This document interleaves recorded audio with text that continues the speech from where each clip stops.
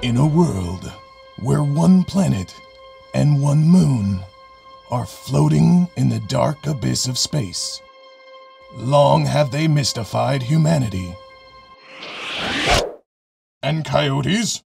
Hey, I'm not getting paid enough for this.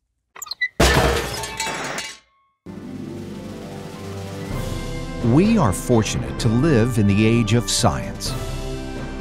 We have the tools not only to observe, but also to explore our neighborhood in space.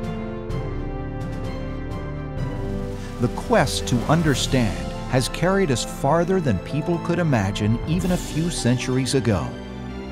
The picture we see is no longer of a flat world, but of an exciting new frontier that begins with Earth, Moon, and Sun. Who knows what discoveries lie ahead? Oh my gosh!